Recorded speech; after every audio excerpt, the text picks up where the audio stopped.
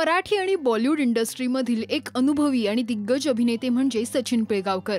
बालकलाकार म्हणून सुरुवात करणाऱ्या सचिन यांनी आजवर अनेक सिनेमांमध्ये काम केलंय आणि अनेक सिनेमांचं दिग्दर्शनही केलंय.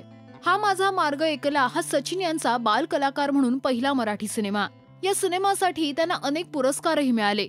पण सचिन यांचा पहिला हिंदी सिनेमा तुम्हाला माहितीये का? सचिन यांचा पहिला हिंदी सिनेमा होता जिम्बो का बेटा. स्वतः सचिन यांनी सोशल मीडियावर पोस्ट शेअर करत या सिनेमाबाबत माहिती दिली. होमी वाडिया यांनी या सिनेमाची निर्मिती केली होती.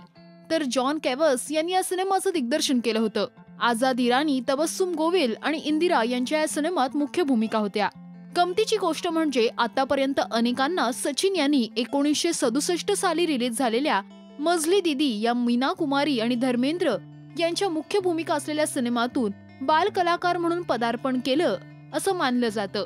पण तसं नसून एकोणीसशे सहासष्ट साली रिलीज झालेला जिम्बो का बेटा हा त्यांचा पहिला सिनेमा होता. आणि यात त्यांची बाल कलाकार म्हणून मुख्य भूमिका होती. जंगलात सापडलेल्या एका मुलाला जिम्बो स्वतःचा मुलगा म्हणून वाढवतो आणि त्यांची ही गोष्ट या सिनेमात पाहायला मिळाली. सचिन यांचा हा सिनेमा तुम्ही पाहिलाय का? हे कमेंट्समध्ये नक्की सांगा.